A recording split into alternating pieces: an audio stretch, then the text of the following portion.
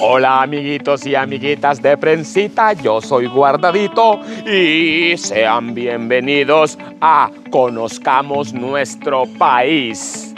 Hoy desde un lugar maravilloso en Lourdes, Colón, Nahuali. Quédense con nosotros porque seguramente hoy el cariño, la paz y la ternura nos va a invadir. ¡Comenzamos!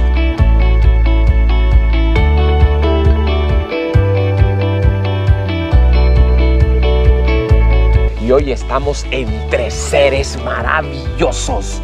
Vamos a tener una plática espectacular con nuestra amiga Nahara Salomón. Nahara, bienvenida. Hola, nos cuesta vernos, ¿verdad? Porque ahí tenemos un ser maravilloso entre nosotros. Ella es la tía Lola y hoy vamos a hablar de Nahuali. Nahara, ¿qué es Nahuali? Nahuali es un centro interactivo humano-animal. ¿Por qué Nahuali? Vaya, comencemos en eso, contanos, ¿por qué Nahuali? Pues Nahuali tiene como base la palabra Nahual. El Nahual en la cultura de Centroamérica, de Mesoamérica, es el espíritu que nos acompaña al nacer y sobre todo es el ser que va a aparecernos cuando estemos en momentos difíciles de la vida y que necesitemos apoyo. Nos aparece en la mayor parte del tiempo o en forma animal o en forma vegetal, pues pensamos que el centro iba a poder llevar el nombre Nahuali, que es el lugar donde la gente puede venir a visitarnos y encontrar esos seres maravillosos, animales, que los acompañen en momentos en que tengan dificultades. Porque en Nahuali puedes hacer una visita para compartir con animales, pero también puedes recibir terapias o apoyos, talleres, para ayudarte a crecer, a sentirte mejor en la vida. Porque miren amiguitos, aquí hay yeguas, hay caballos, hay gatos, hay, hay mula, mula, cabras, cabras, hay muchas aves de gallinero y todas son mansitas. Porque aquí es donde podemos intercambiar ternura, cariño, respeto a los seres de nuestro entorno. Acabas de decir el intercambio de ternura y el respeto por nuestros semejantes. ¿Por qué es, por qué es importante eso? Pues en la vida muchas veces nos sentimos divididos, tenemos conflictos y se nos olvida que la base de todas las relaciones es la ternura, es el cariño, es el amor, la amistad. Exactamente, o sea, amiguitos, este lugar es mágico. Uno entra y comienza a sentir, digamos, la amistad, el cariño. ¿Y qué pueden esperar nuestros amigos, Nara, este, al, al, encuentro? Cuando están en este lugar, aquí en Nahual, ¿qué es lo que pueden esperar? Pues aquí sobre todo van a descubrir, van a poder vencer sus miedos porque a veces nos impresionan esos animales grandes y eso revela los miedos que podemos tener en otras oportunidades. Entonces, si logramos vencer ese miedo, lograremos vencer otros. Seguimos en este maravilloso lugar y Nara, eh, nos comentabas que aquí eh, eh, pueden venir personas, niños, niñas, gente adulta eh, que también pueden recibir eh, terapias. ¿Qué significa eso, Nara? Terapias es cuando uno necesita mejorar alguna parte de su vida, ¿verdad? Tener una mejor calidad de vida.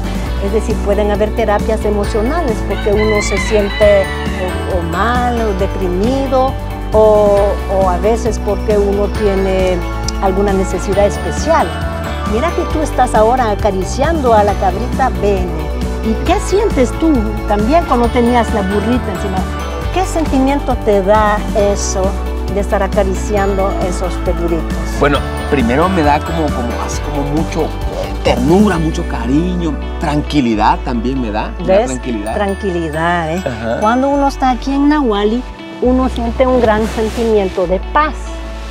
Un gran sentimiento de paz que nos da tanto el árbol como los animales. Eso ya es como un bálsamo que nos da en el corazón. Naturalmente yo soy una guía en esas terapias y puedo apoyar a las personas hacia donde ellas necesitan. Y están las terapias físicas, cuando uno tiene un problema en el cuerpo, ¿verdad? Un impedimento, por ejemplo, Entonces, por ejemplo, hay personas que tienen parálisis cerebral, que no pueden mover sus cuerpos como ellos lo desean. Eh, hay unos niños que no han podido aprender a caminar, por ejemplo.